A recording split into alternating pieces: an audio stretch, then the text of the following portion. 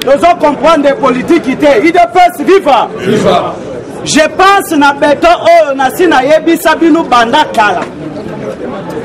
keno ntango oyo oza na pouvoir nde apartir wana akoyeba baadversaire na yo eza boye te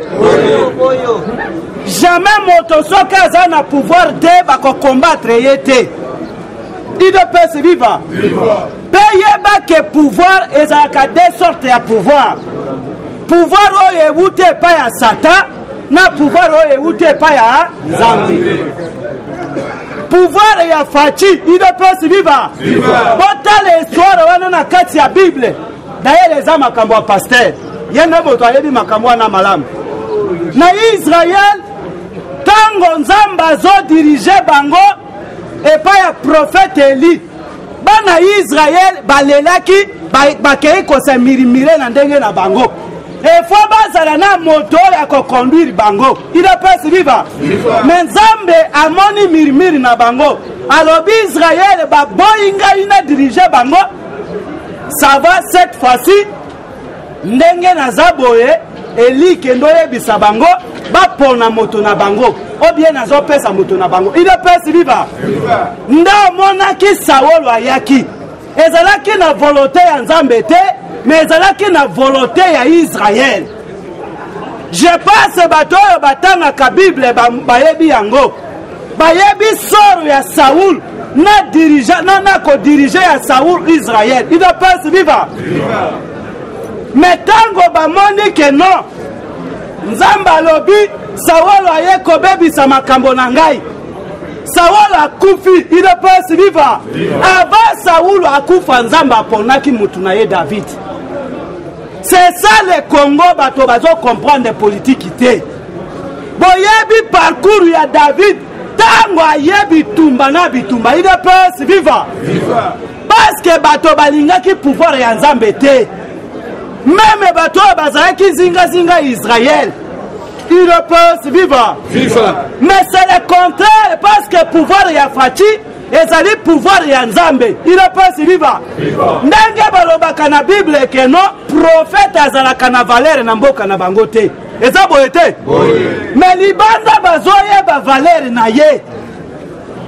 udps viva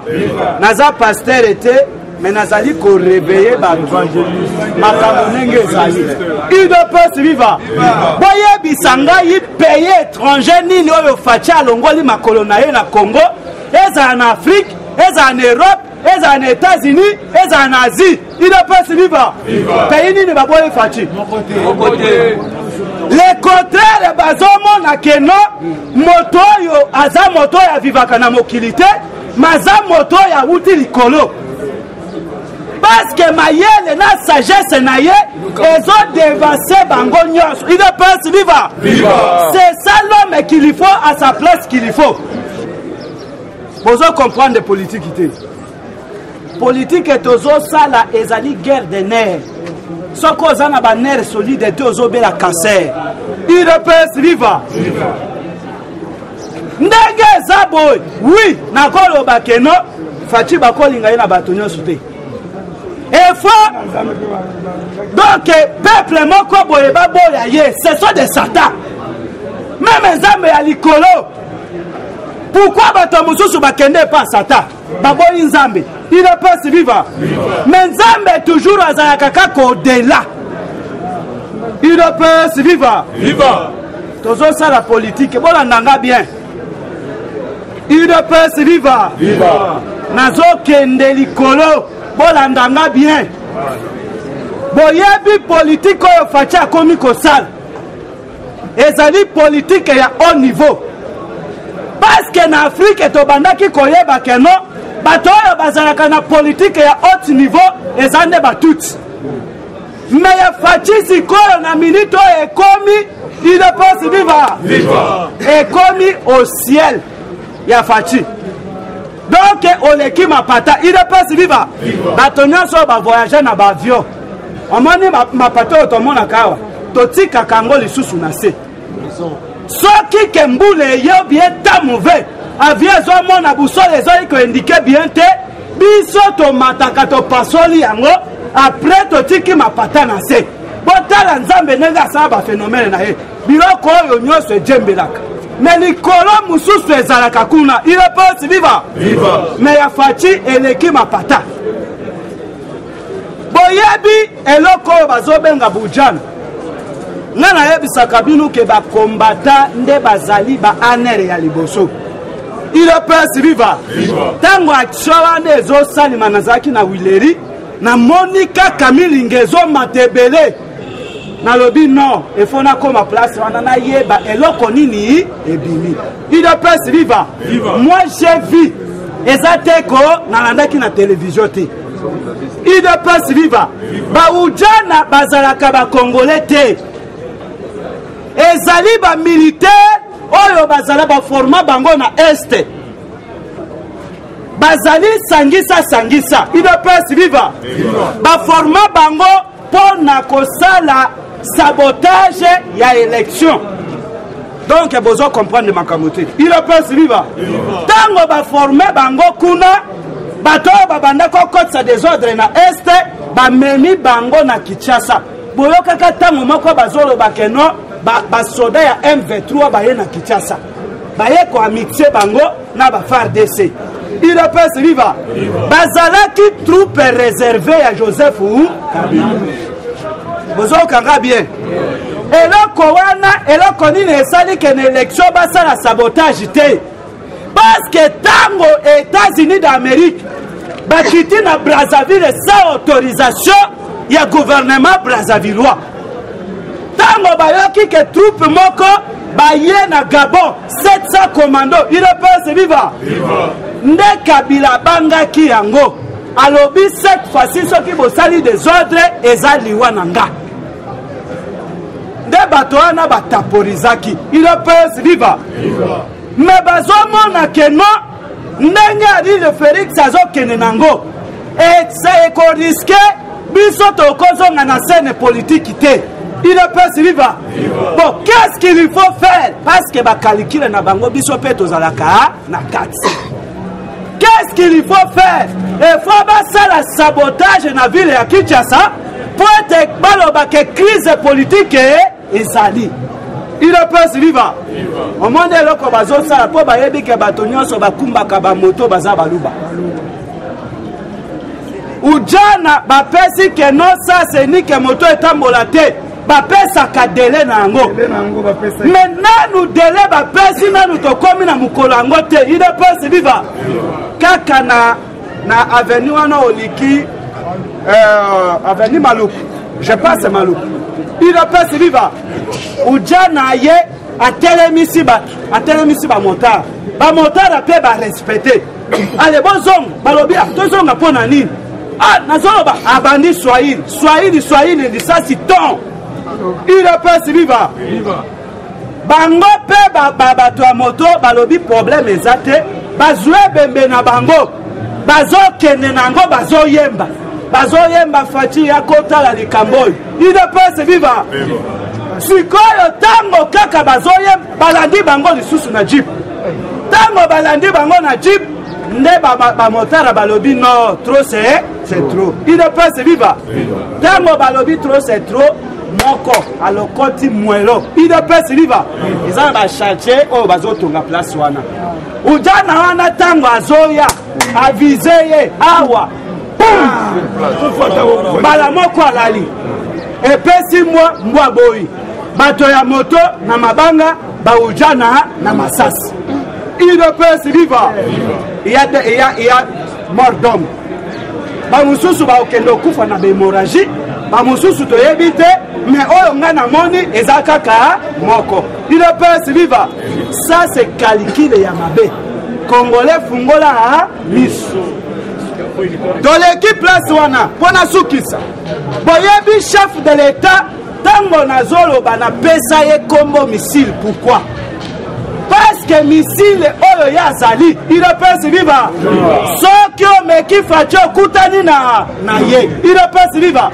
nayebisaki bino ke kabila azali prisonnier a scène ouvert bino boluka o oh, kabila kende kabila bakanga ye udps viva eza lokola ozoyemba mozoyeba makambo ezosalima te nayebisaka bino ke eza nyonso ya kolobela bino awa te bino mpasi biba pourkui tshisekedi alobaka boye omoni soki ezalaka mpo na koboma kabila tshisekedi lepere nde alingaka aboma ye avant parceke tshisekedi abanda kolala te efo ayeba kabila esika alali me pere yeyo tosala na ye nini botika ye baoyo bayaki na ye bakoya kosala nini kozwa ye voilà. eza kabila ayaki na basuma nte mpo wana eza na babiloko mosusu nakoki koyebisa bino awa te udps viva pourkui bandeke mibale ya mystique oyo bapesa kabila na inde bakufaka ndenge eh? nini shadal ayebi histoire ya ngulu mpo boyebake nga mpe nayebi histoire ya ngulu ngulu oyo ngulu oyo kabila avant a président réunion na ye na kingakati efo ngulu aya afanda efo akarese ye ngulu wana ekufa ndenge nini bomba bomba bomba udps viva faci aza na bomoi ya kabila opesaka kabila makasi te dayere etats-unis communauté internationale bazomona faci moto mabe udps viva balobi livre ye Fatshi azoloba te botika ye nanu. Pourquoi azotika ye? Tolobela kaka bino awa. Udps viva! Non, eza nyonso te ya koloba. Oyo ezali television. Politique eza politique papa. Diplomatie eza diplomatie. Udps viva! Viva! eza lokola ozoprepare coup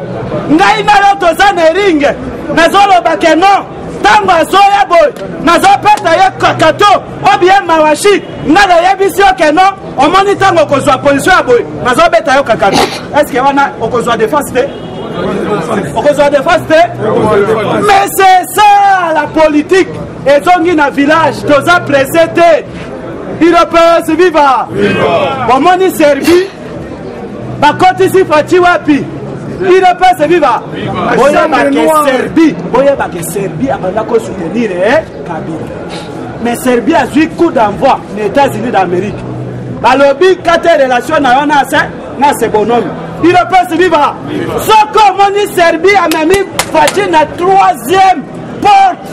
noir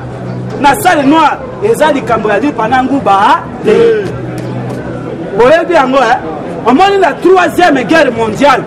serbie nde azalaki cerveau moteur ya, ya putis ino pasi biba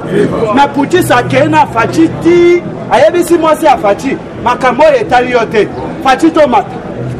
udps viva ntango ozoyoka ke sekirite ekoti na kingakati udps viva nga nayebi kingakati bien oyebi eh? eh, omoni baplace nyonso oyo basala paysage balona bapelouse eh? ezalaka bafose komi toyeba yango mpo na nini udps viva tozotika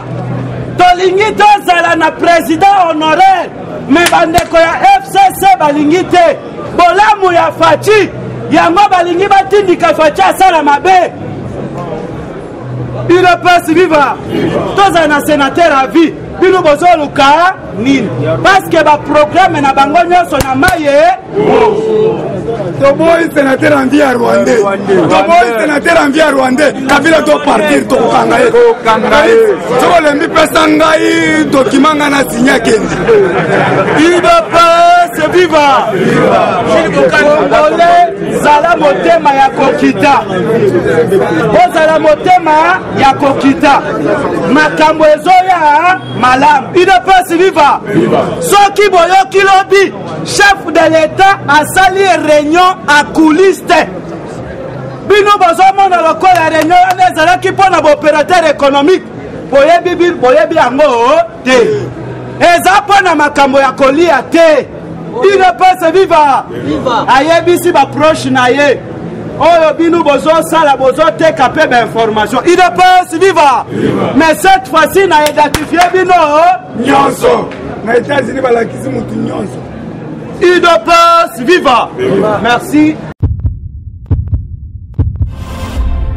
faire parler de vous Confiez-nous votre image et laissez-nous la transformer en une identité forte grâce à un accompagnement sur mesure et un suivi personnalisé.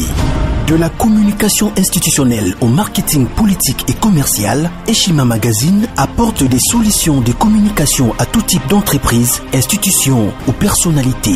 Notre parfaite connaissance des outils de l'information et de la communication, mais aussi notre expertise, sont des atouts pour vous conseiller en proposant des solutions efficaces afin de rendre votre communication adaptée, maîtrisée, attractive et persuasive tout un champ des stratégies de communication. Magazine congolais d'information générale, Eshima Magazine bat au rythme de l'actualité impartial, documenté, instructif et au cœur de l'info. Communiquer de manière impactante nous exige une analyse approfondie de besoins, des objectifs et des cibles. Eshima Magazine assure l'intégralité de la promotion de vos projets, de leur conception à leur réalisation.